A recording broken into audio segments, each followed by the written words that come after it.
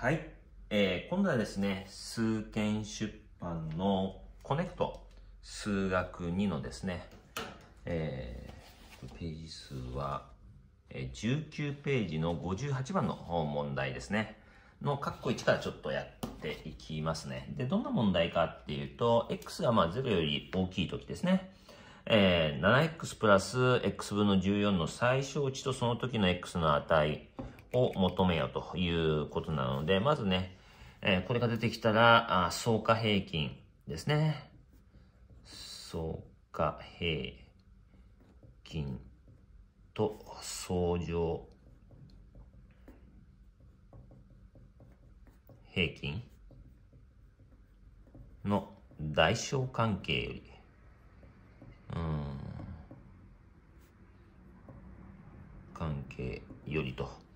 ね、えー、これはね、そのまま使えるので、うん、x 大なりイコール2ルート 7x の x 分の14。そうするとこれ x が消えてね、で、えー、この部分どうなるかっていうと、7が出てきて14ルート2っていうふうになりますよね。なので、うん、よって、よって 7x プラス x 分の14っていうのは14ルート2以上だ。つまり最小値は14分の、あ、14ルート2だっていうのがこれでわかるわけですね。で、えー、統合が成り立つときが、まあ、そうですね、最小値なんで、えー、7x イコール x 分の14の時だから、x の2乗イコール2で、えこの時 x は正じゃなきゃいけないので、x イコールルート2ですね。つまり、x イコールルート2の時最小値。最小値、えー、14ルート2っていうふうになりますかね。うん。で、お次ですね。うん。X が、まあ、1より大きい時ですね。で、これの最小値と。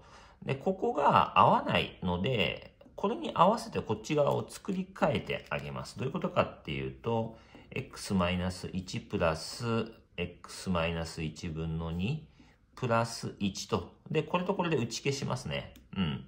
で、えー、まあ、そうか、平均。えー、相乗平均の代償関係、えー、関係よりとそうするとこれ1をね足してあげてるので最終的に1を足してあげてください。えー、2こんな形ですよね。そうするとこの部分どうなるのかっていうと、x-1 が約分できて、2ルート2プラス1になるよね、と。うん。で、えー、そうすると、よって、えー、よって、x プラス x-1 分の2は、あ2ルート2プラス1だよねと。で、統合が成り立つときはこれイコールこれの時なんで、x マイナス1、x マイナス1分の2なので、そうすると、x の2乗マイナス 2x プラス1イコール2。で、x の2乗マイナス 2x マイナス1イコール0。うん。で、これ、まあ、解の公式入れてあげて、x イコール1プラスマイナスルート2。で、マイナスはこの場合不可なんですね。なんでかっていうと、これマイナスしちゃうと1より小さくなっちゃうんで、なので、えー、x イコール1プラスルート2の時、最小値。えー、2ルート2プラス1というふうに答えが出ればいいですかね。うん。で、お次ですね。えー、59もいっちゃいましょう。で、えー、と、どんな問題かっていうと、えー、x と y が正で、xy の積が4の時ですね。2x プラス y の最小値を求めると、これも、まあ、相加平均、相乗平均を使っていきます。相加平均、相乗、平均の代償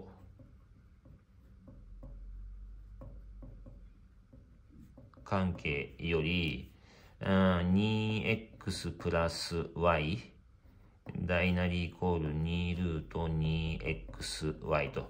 で、この時 xy って呼んだってもらってるので、この部分っていうのが、あ4ルート2になりますよね。ルート4ってのは2になって外に出るんで、うん、2x プラス y は、まあ、っていう風になるよね、と。で、えー、最小値しかこの場合求めてないので、その時の x とか y の値を求めてないので、まあこれで OK ですね。なので、答えは4ルート2というふうに出れば OK です。うん。で、次ですね。60番。えー、A が、あ A 大なり2、B 大なり2、C 大なり2、え D 大なり2の時、次の不等式を求めよ、あ不等式を証明せよと言ってるんですね。で、AB の、AB 大なり A プラス B だという問題ですね。で、これは、まあ、どうするかっていうと、うん。言うと、まずね、えー、まあ、AB マイナス AB マイナス A プラス B っていう、まあ、左辺引く右辺をやっていけばいいわけですよね。で、そうすると AB マイナス A マイナス B と。で、えー、これ因数分解ちょっとしたいので、どうするのかっていうと、ここにね、えー、プラス1してマイナス1してあげるということをやるんですね。そうすると a マイナ1と b マイナ1っていうふうに因数分解できるわけですね。で、えー、この時に a 大なりに b 大なりにであるから a マイナ1は、うん、1よりも大きくなるし b マイナ1は、あ1よりも大きくなると。よって、a マイナ1、b マイナ1、マイナ1はこれ正になるよねと。うん。したがって、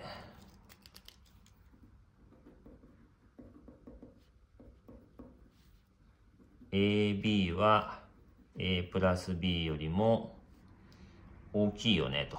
うん。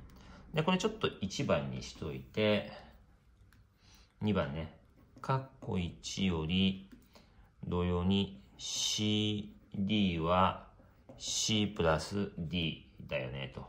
うん。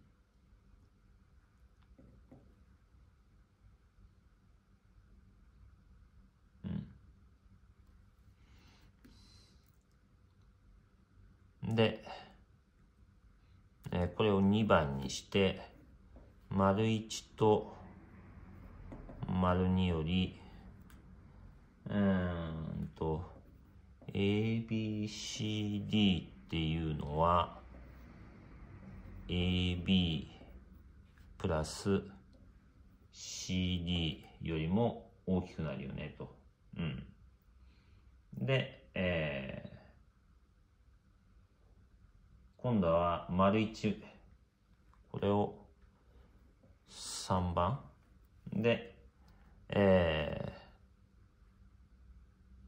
丸1、丸2の辺、辺を加えると AB プラス CD 大なり A プラス B プラス C プラス D になるよねと。うん。で、えー、そうすると、これを4にしてあげると、まあ、こいつはこれ、っちの方が大きいと。で、これとこれ比べたら、これとこれ一緒なんでね、こっちの方が大きいってことは、これはこれよりも大きいよねって言えるよね。なんで、3、4より A, B, C, D は A プラス B プラス C プラス D よりも大きいというふうに言えるということですね。ちょっと長くなったんで、えー、切ってね、えー、また次のページをやっていこうかなと思います。もしよろしかったらチャンネル登録、高評価、コメント等をしていただけると次の動画の作成が動きになりますので、よろしくお願いします。ご視聴ありがとうございました。